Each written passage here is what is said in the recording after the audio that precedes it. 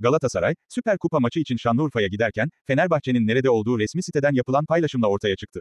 Şanlıurfa'da yarın oynanacak Süper Kupa maçında, Galatasaray ile Fenerbahçe karşı karşıya gelecek.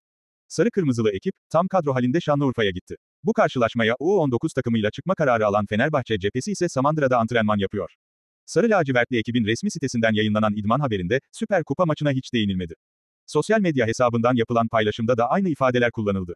Fenerbahçe'nin resmi internet sitesindeki antrenman haberi şu şekilde yayınlandı. Fenerbahçemiz, UEFA Konferans Ligi çeyrek final ilk maçında 11 Nisan Perşembe günü Olympiakos ile oynayacağı maçın hazırlıklarını Fenerbahçe Can Bartu tesislerinde akşam saatlerinde yaptığı antrenmanla sürdürdü.